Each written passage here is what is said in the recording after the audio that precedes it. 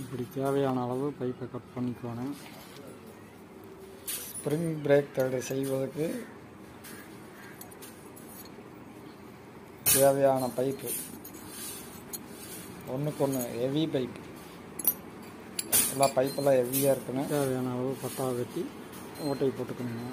பட்டா வந்து ஏழரை இன்ச்சு நீளம். ஏழு இன்ச்சு ஏழரை இன்ச்சு நீளம் வச்சுக்கலாம். இருபத்தஞ்சுக்கு அஞ்சு பட்டா. ஒன்றுக்கு ஒன்று பைப்பை நேராக கிராஸ் இல்லாமல்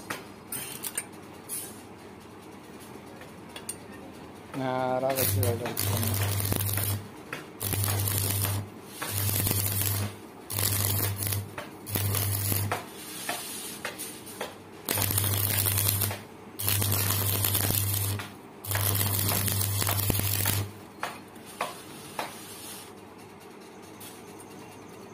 முக்கால் இன்ச் பைப்பில் அரை இன்ச் நட்டு அது போல்ட்டை வச்சு நல்லா நேராக ஸ்ட்ரைட்டாக வச்சு வைக்கணும்.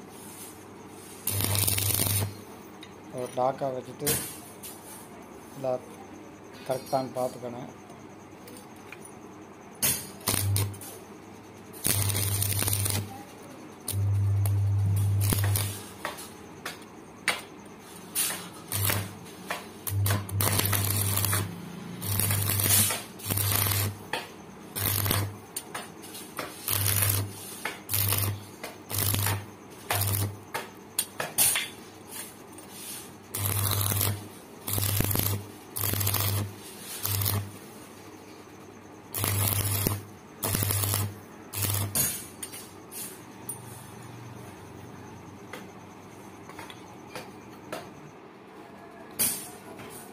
அடுத்தது கிரைண்டிங் கிரைண்டிங் வந்து பொறுப்பு.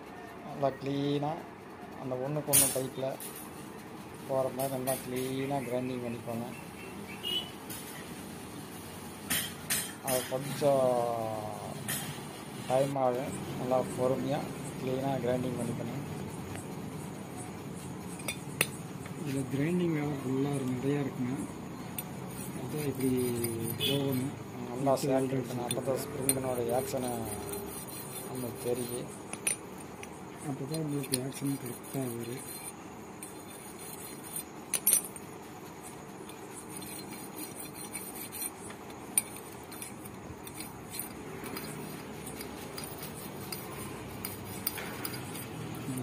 சரியாக போக ஃபார்ம்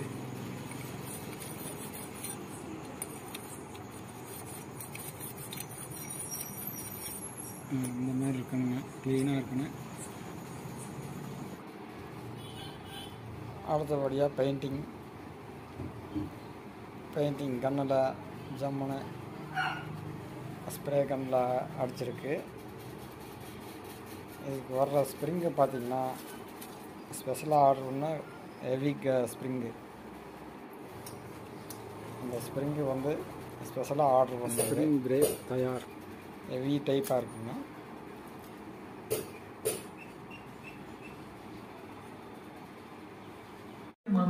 ஆ.